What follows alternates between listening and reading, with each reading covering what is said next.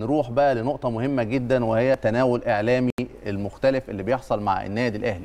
فاكرين طبعا أزمة رينيه فايلر لما انتهى عقده مع النادي الأهلي. وطبعا النادي الأهلي قدر يتعاقد مع موسيماني في أقل من 24 ساعة ولكن بعض الإعلاميين خرج وصرح تصريحات بكل ثقة إن فايلر وجوده هنا في القاهرة أو رجع للقاهرة ليتعاقد مع فريق بيراميدز. نشوف التصريح ونرجع نعقب.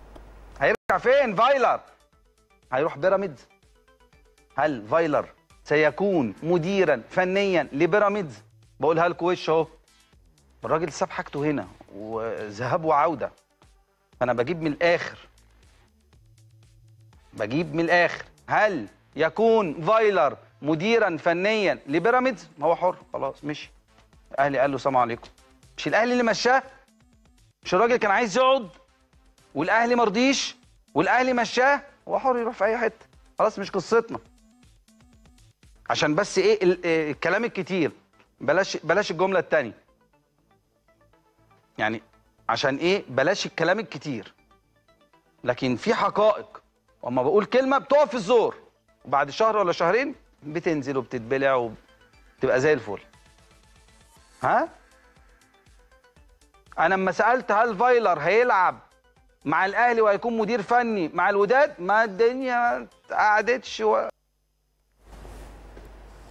اعتقد نادي بيراميدز تعاقد مع مدير فني وأعتقد مش رينيه فايلر واعتقد أعتقد يعني تقريبا رينيه فايلر ضحى بشنطة هدومه اللي كان سايبها عشان يرجع يوم الأحد. وبعد شهرين كلمة الحق بتقف في الزور وده كان تناول إعلامي حابين أو كنا شايلينه كده وحابين نأكد عليه لأننا كنا عارفين في وقت من الأوقات. آه طبعا شايلينه وحاطينه كده stock لأن عارفين إن ده مش هيحصل. وفكرة التنبؤات بقى وفكرة إن أنا أزعزع جماهير النادي الأهلي أصل فايلر راجع على بيراميدز وفكرة التقليل بقى من المدير الفني ومش هنقدر نجيب. أعتقد الأمور الحمد لله مشت بشكل مناسب جدا يا فارس. أسامة. أنت بتقول تنبؤات. والله هي مش تنبؤات. أنت عارف الوقت لا، ده كان آه. بتاع رمضان.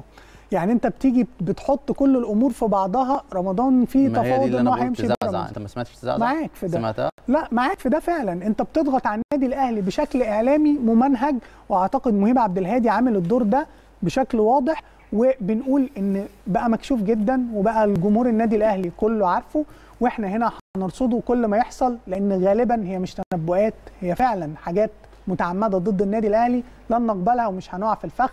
وإن شاء الله بإذن الله النادي الأهلي بطل لدوري أبطال إفريقيا عشان نخرس كثير من الالسنه ونشوفكم على خير الحلقة الجاية ويظل النادي الأهلي خط أحمر إن شاء الله.